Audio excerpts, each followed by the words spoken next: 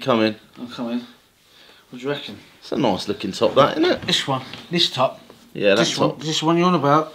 Yeah, Yeah. If you look carefully on it, it's um. it's got pop along arse. Yeah, it says pop on last year. Do you know where I got that? Where'd you get that from? Got it on our website. We sell them. We do.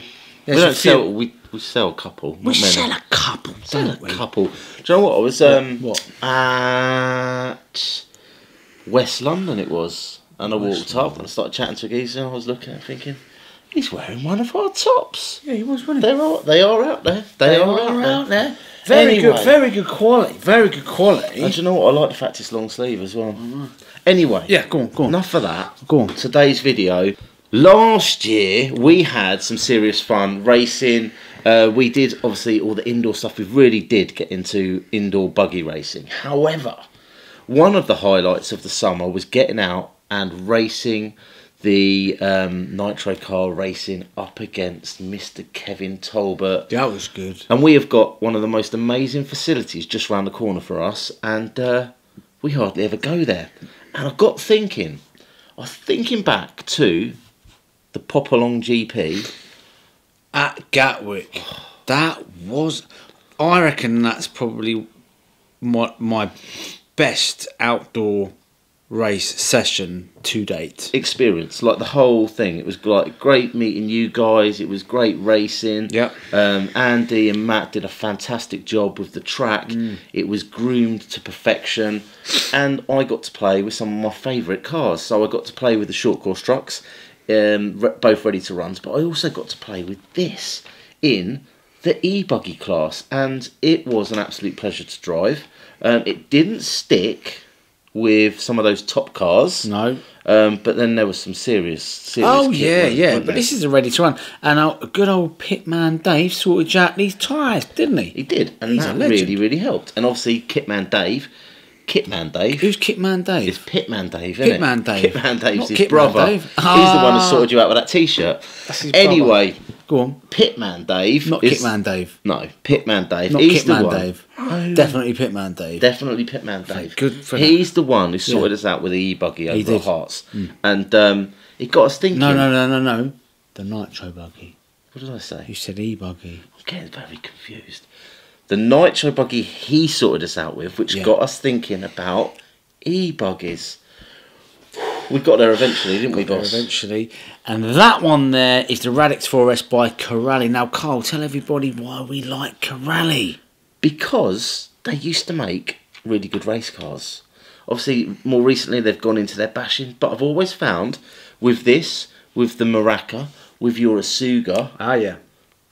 They all drive so nice. They're a Yeah. nice driving experience, especially with the sort of the Gatwick track and the grassroots stuff that we do a lot of. However, could we get this around the Hearts Nitro track? Oh, I reckon that'll go around all right. they'll get around all right? Yeah, I mean, as far as value for money, these cars are just that. They're they're built well. If you're going to take that one to a skate park, don't know if it will last very long. To Thing is, honest. with this car, yeah, I've got some bad news, boss. bad news, Terrible news. terrible news, The worst news I've heard the worst news in a you've very long time. In a very long time. Almost as upsetting as the fact that they discontinued the MO3. You're going to tell me they're discontinuing that, aren't they? Aren't you? They've replaced it, boss. They've replaced it. Yeah. What have they replaced it with then? Something under there or They've replaced it with that. with this one here? yes. Yeah, it, this is its replacement, and what a car it is. So this one, I believe, is called the XB6 or the Spark XB6 to be precise. The Spark and XB6. it is a ready-to-run, one eighth, four-wheel drive, 6S, Right. brushless beast. Now, the first thing that comes to mind is when I pick this up, this is a heavy car, right? This is a heavy car. And the reason it's heavy is because I don't know if anyone's familiar with the word hench, right? But here in the UK, hench means, you know, like Arnie, Arnold Schwarzenegger, or the Hulk, right, would, would be hench, Hench. right? Hench means big, strong, tough, heavy. That's what this is. everything's beefed up on it. Absolutely everything. From the shock tower is thicker. And it's actually looks narrower as well. Yeah, the sh- from the shock yeah, tower, eh, the whole car is is is. This one's got a, a brace in the centre as well, whereas this one hasn't got a brace. Yeah, they, Uh, they've listened to all the you lot who were complaining, taking them to the skate parks and going, I broke the car. I jumped it 50 foot and it's broke.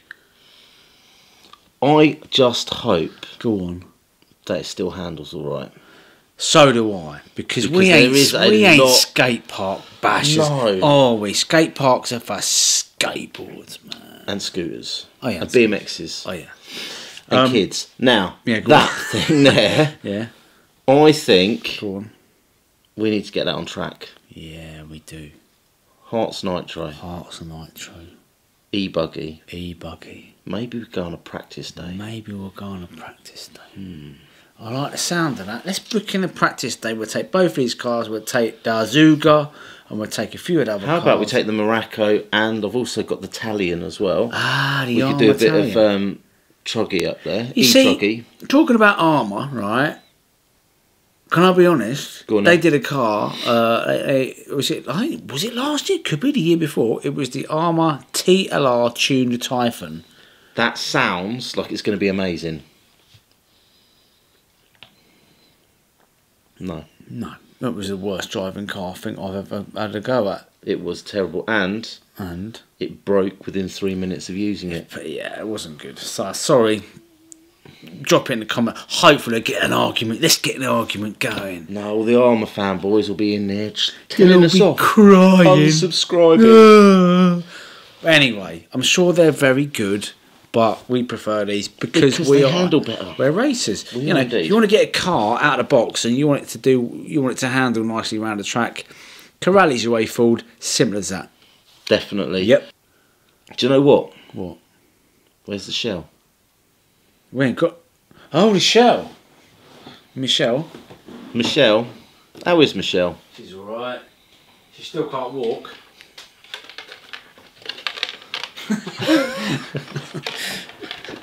right. Uh, there's the. Hey, this. Feel that? What's that? What does that feel like to you? What's that? It feels like Michelle. That is very, very tough. That's quite thick, isn't it? I don't know. It's, it's, it feels like a different material than the Radix shell. I suppose you want me to get the Radix shell now, don't you? Actually, looking at it, it's exactly the same as the Radix shell. Yeah, but it ain't It's the because same shape. It's, it's got the same shape. okay, it's the same shape. But let me In fact, it's identical shape. hang on a minute. It's the same shape. Looking at it from here, Put it on there. I'll put it on there.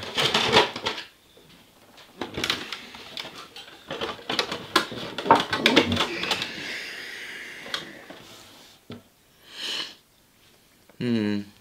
Well, I'll put Velcro on this one, but we said it was a replacement for the Radix. It's exactly the same shell. Look There at you that. go.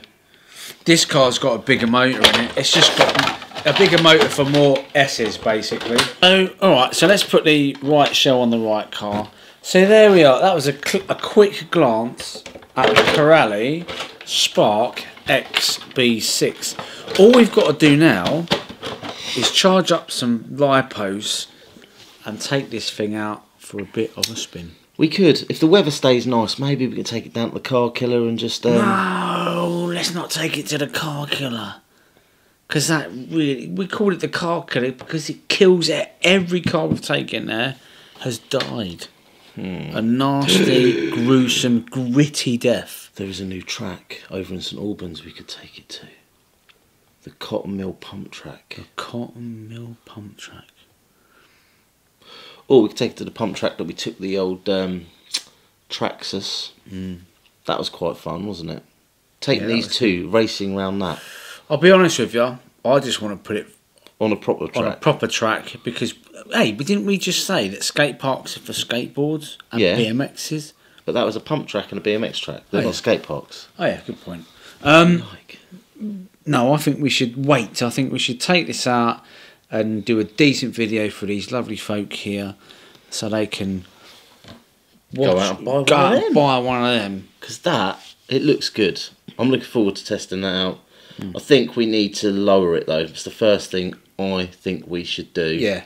But that's clever. Corally have done that because people out there will just the first thing they will do is they will try and jump this thing, and there's loads of ground clearance there, and that's that's it just feels, yeah. You know when you look at a car and you think, yeah, Yeah. I'm actually quite excited about the summer.